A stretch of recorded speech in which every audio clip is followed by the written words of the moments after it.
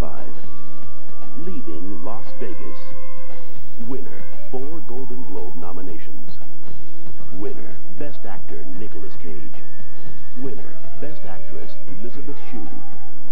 Winner, Best Director Mike Figgis. And winner, Best Picture of the Year, Leaving Las Vegas, a love story. Ready.